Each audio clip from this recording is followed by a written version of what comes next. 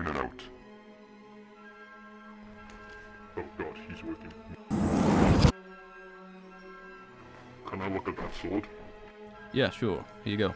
The price of that sword is 8,000 studs. These are not the studs you're looking for.